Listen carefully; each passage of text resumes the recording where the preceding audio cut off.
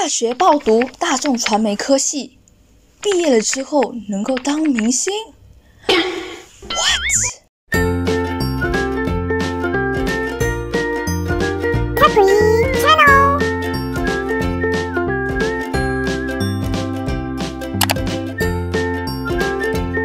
大家好，我是来自马来西亚的 Carry c a p y 那么今天这个影片呢，我们就会来聊聊天。我们会来聊什么呢？我发现到其实，呃，有些人无论是长辈啊、同辈啊，或者是晚辈，可能对大众传媒科系都会有一些误解。那么在今天我们开始聊这个话题之前呢，希望大家能够多多支持我的 Carry Channels 卡比频道。如果你喜欢看我的影片呢，记得打开小铃铛订阅频道，那么你就能够在第一时间收到影片的最新通知啦。好，那么现在可能你会有一个疑问：凭什么卡比现在有资格在这里讨论这些话题呢？是的。虽然我是普通人，我好像也没有什么资格在这里和大家讨论、分享有关大众传媒科系的一些东西。可是因为我是毕业于马来西亚大学的广播系，所以今天呢，我纯粹是想要和大家分享我的一些看法和一些观点。那至于我为什么会大学报读广播系呢？这是很长很长很长很长长的故事啊！如果以后有机会的话，再和大家分享。首先，我听到很多人会说。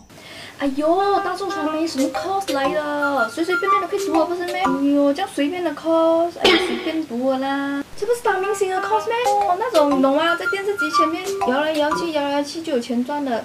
哎呀，不会读书的人读的啦。哎呀，成绩烂的人读的啦。Hello, excuse me, excuse me，我今天就要来打破大家对这些的看法。首先，很多人其实会把大众传媒科系和明星主持人扯上关系，可是呢，其实我们在大学的时候，我们的讲师。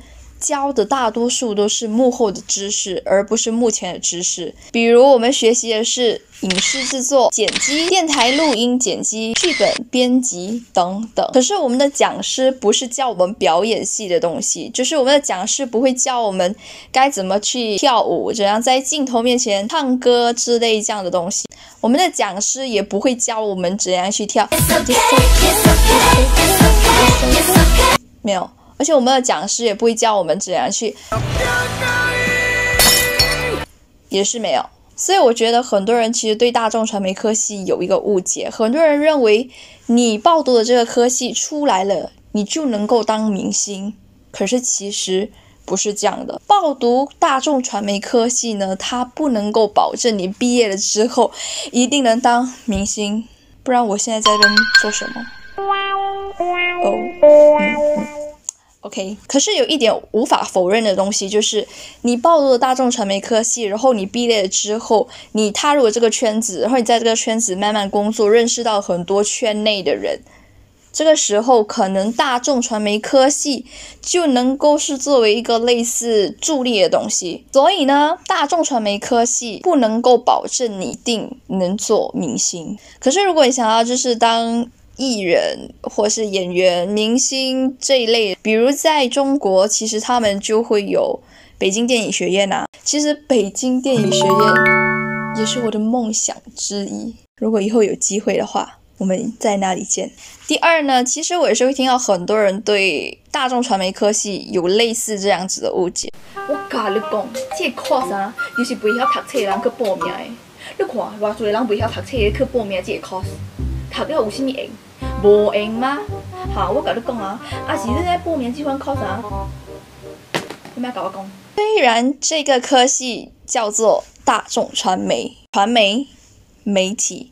可是呢，其实我们在课堂上，我们在学习的时候，我们还是会有用到数学，而且我们还是会有读关于法律的东西。所以呢，其实我们是需要读书的。比如我还记得在我 year one 的时候，我们就有学 advertising。然后我们在学 advertising 的时候，其实我们也会要用到呃，就是 media planning 啊，是 statistic 啊这样的东西。所以我们在做 assignment、在考试、在上 lecture class 的时候，我们也是会需要用到数学的。而且我们也是有学习 media。法律不是玩玩的东西哦，需要很大量的 theory，很大量的去阅读，你才会明白那个东西。所以，我们这个大众传媒科系呢，不是像大家想的那么简单，而且也不是像大家想的，就是不需要读书。我们是需要读书的，需要读书，我们真的需要读书。重要事情讲三遍。第三，其实我会听到很多人说，Mass Com 的人不是每是 clubbing 的咩？每 party in the house 的吗？每 DJ DJ yo yo yo 这样子的。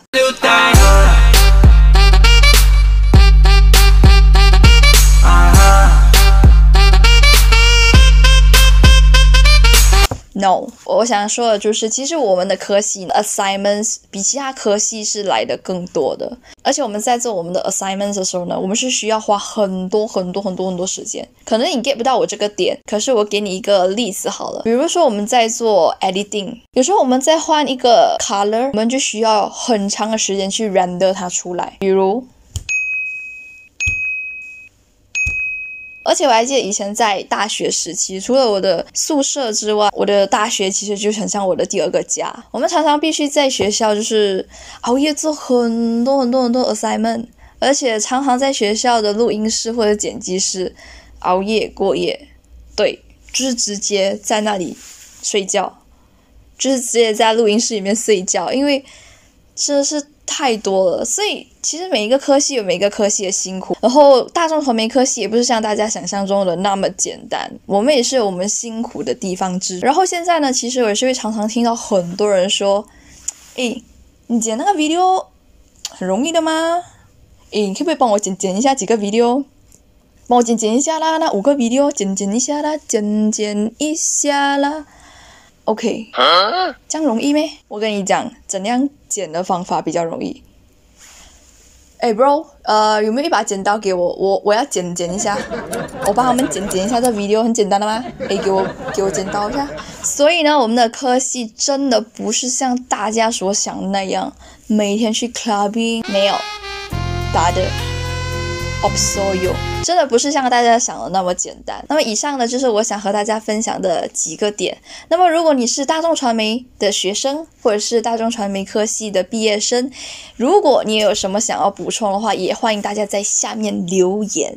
希望呢，这个影片就推出了之后，呃，希望大家能够。多多 appreciate 我们这些媒体人，然后 appreciate 我们这些读大众传媒科系的学生，然后了解我们的辛苦之处。祝马来西亚影视圈越来越好，加油！好啦，那么今天的影片就到这里结束啦。如果你喜欢看 Carry Channels 卡皮频道的影片的话，记得点赞、留言、分享、订阅、打开小铃铛。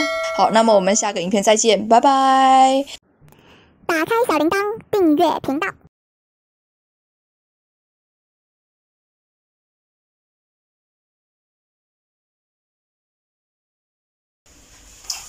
哎，哎，bro，我叫你 off 了，你还不要 off 嘞？off 了，按了，等一下我要多剪几秒嘞。